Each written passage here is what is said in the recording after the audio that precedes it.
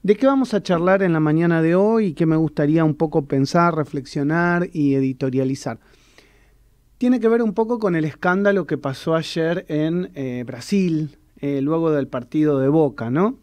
Eh, porque las redes sociales, por un lado por ser Boca, por el otro lado por ser el fútbol, este, se vieron convulsionadas por la cantidad de mensajes a favor, en contra, este, obviamente los Boca, los anti-Boca, eh, las peleas internas también dentro del club, este, Riquelme por un lado, este Pergolini por el otro, el eh, Consejo de Fútbol, eh, la mm, situación de indisciplina de algunos jugadores, algunos hablan de la indisciplina de Cassini respecto a haber comenzado los disturbios después del partido.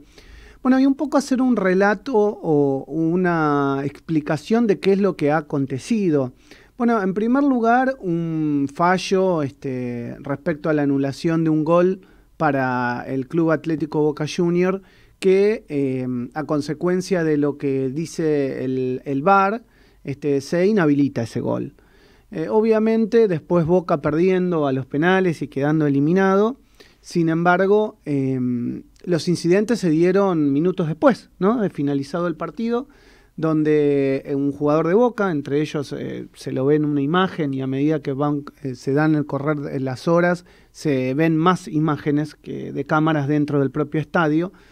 Em, obviamente con el enojo, la molestia de los jugadores, en este caso de Cassini también, y, luego, bueno, ante el, el digamos, la escaramuza con Cassini, bueno, los otros jugadores saliendo a defender y el cuerpo técnico y parte del Consejo de Fútbol eh, a Cassini, y bueno, todos a las golpes, terminaron todos en la comisaría, esa es la realidad. En estos momentos todavía están en la comisaría eh, en Brasil. Algunos están hablando de eh, la fractura de la burbuja por parte de Boca y si Boca debería o no hacer una, mm, algún tipo de de mm, cuarentena al llegar al país y uno tiende a pensar realmente que sí, que si uno quiere evitar el ingreso de la variante Delta, más allá de este, todo lo que nos está pasando con los argentinos varados en el exterior, eh, y que son muchos y de a montones, Boca va a tener que estar de 10 a 15 días aislado. Por otro lado, también eh, el, embajador Daniel Scioli haciéndose eco de lo que le pasó a Boca y haciendo una, este, algún tipo de declaración en sus propias cuentas de Twitter respecto a eh, lo que estaba haciendo la Embajada Argentina para darle asesoramiento jurídico al club.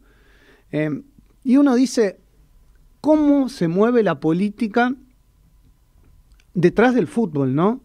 Porque, ¿qué atención han tenido miles y miles de argentinos varados en el exterior respecto a las embajadas y respecto a eh, los consulados. Justamente los argentinos son quienes se quejan eh, en el exterior de la mala atención que los consulados eh, les están dando respecto a soluciones de repatriación, que no pasa justamente con Boca, y con un equipo de fútbol donde todos salen a correr y a solucionar el problema que el equipo está teniendo. Se habla de una multa de 10 mil reales, sería algo así como eh, 11 mil, este, sí, 10 mil reales es lo que se está hablando. Em, la realidad es que eh, el incidente, al haber sido fuera de la cancha, no tiene que ver con un hecho deportivo y por eso está eh, el involucramiento de la policía eh, estatal brasilera, ¿no? En definitiva, estamos hablando de delitos como lesiones que se cometieron en el ámbito que no es el deportivo. Entonces uno creo que tiene que analizar estas aristas que yo voy abriendo. Yo no quiero hacer un juicio de valor respecto a Boca, a los anti-Boca o al medio país que es hincha de Boca y que está enojado por una decisión deportiva. A mí me gustaría hacer foco en eh, la actitud de los jugadores respecto a cómo no te puedes bancar una pérdida deportiva, más allá de que este, después se pueda llegar a discutir o sea discutible lo que pasó con el VAR, este, cómo se termina en esta situación de gravosa pelea. Y por otro lado, la política tratando de solucionarle el problema a un equipo de fútbol, ¿no? Porque es como que eso está bien mirado. Lo que pasa con el resto de los argentinos no importa, pero al fútbol hay que solucionarle los problemas. Y esto es un poco con lo que quiero este, reflexionar, ¿no? La doble vara respecto a determinadas cosas, a determinadas situaciones que nos pasan.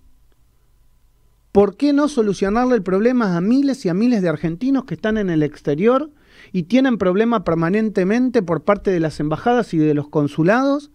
Y cuando tiene un problema Boca, todos, Boca o cualquier equipo argentino del fútbol, todos corriendo, solucionando el problema. Somos este, conscientes, ¿no? Después de lo que vivimos como sociedad, de lo que entendemos que es importante, ¿no? A veces cuando se dice son 11 gladiadores adentro de una cancha y es un gran circo romano y el resto de lo que pasa a nuestro alrededor, inflación, inseguridad, varados en el exterior, muertos. Hoy, sin ir más lejos, me contaba mm, este, una persona que conozco hace muchos años, porque bueno, ustedes saben que la radio estuvo muchos años en Bartolomé Mitre y ahora está en calle Callao, eh, esquina Perón, o sea, es todo dentro del barrio. Y el señor del estacionamiento, que eh, su, una persona muy cercana, muy cercana, de la familia, eh, falleció en estos días por COVID. Y así es el número de 450 personas diarias que tenemos. Y esto, y el fútbol parece ser lo importante. Y solucionar los problemas del fútbol parece ser lo importante. Y la política hablando de fútbol. ¿Qué quieren que les diga? Si a mí me preguntan, si a mí me preguntan qué hay que hacer con esto, yo diría, miren, Boca que se lo arregle Boca. Y si Boca tiene que estar tres días eh, este, detenido en el exterior, que esté tres días detenido en el exterior. Boca tiene sus abogados y tiene recursos económicos para pagárselo. ¿Qué tiene que hacer la embajada argentina o el consulado argentino solucionándole el problema a Boca? Generado por Boca y por sus jugadores, ¿no? La pelea y la escaramuza. ¿Qué tiene que hacer? No hay cosas más importantes por parte de la Embajada Argentina en Brasil que solucionarle el problema? La verdad, parece temas de los que nadie habla, ¿no? Temas de los que nadie habla. Y por otro lado, cuando Boca llegue, con las imágenes que se vieron, los jugadores intercambiando con seguridad, con el otro plantel, con los árbitros, con el bar, ahora arriba del colectivo, ¿no van a hacer cuarentena? ¿No los van a obligar a hacer cuarentena?